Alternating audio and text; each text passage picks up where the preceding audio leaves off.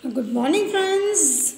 This is Monica Mays from WWSOS. Now, uh, in the previous period, we have completed till I J questions. Okay, now today we see question number K. Now, today's date is 25 12 2020. Okay, now at the end of the story, why is Hamid's grandmother overcome by emotion? अच्छा अब ये क्या बोल रहा है कि हाँ कि जब at the end of the story जब लास्ट में जब स्टोरी ख़त्म हो रही है, तब ये क्यों बोल रहा है कि वाई हामिद की जो ग्रैंड मदर थी, वो क्यों इमोशंस में आ गई थी? वो क्यों गुस्सा हो गई थी?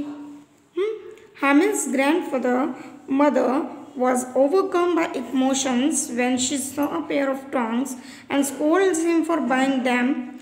But when Hamid tell her that he bought them so that they won't burn her fingers on the iron plate. What अब वो क्या बोल रहे हैं कि जब उसने जो टोंग्स लिया था जो हामिद ने जब उसने देखा तो वो उसको ना scolds him for buying them वो उसको एक बहुत, यानी चिल्ला रही थी, उसके ऊपर से डांट रही थी। But when Hamid tell her that he bought them so that won't burn her fingers on the iron plate जब उसने ये बताया हामिद ने कि मैंने उसको क्यों लिया है? क्योंकि जब आप रोटी बनाती हो तो आपके जो हाथ हैं, वो आग से जल जाते हैं। इसलिए मैंने जो ये टोंग है, वो इसलिए मैंने लिया है।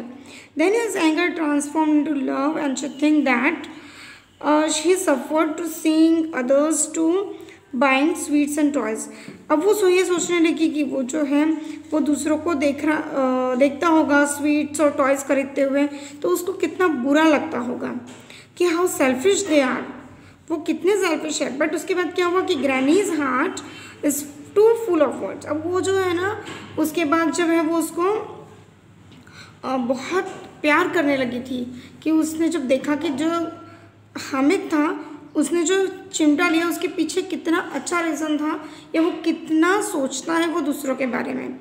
तो वो उसके लिए बहुत दुआएँ देने लगी। Tears falls from her eyes अभी उसकी आँखों से जो है ना आँसू बहने लगे।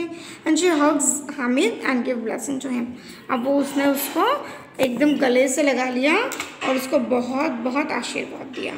Now your students also do good work okay and write down this question only I give you the question one question so please students listen carefully write down properly with neat and clean hand writing okay thank you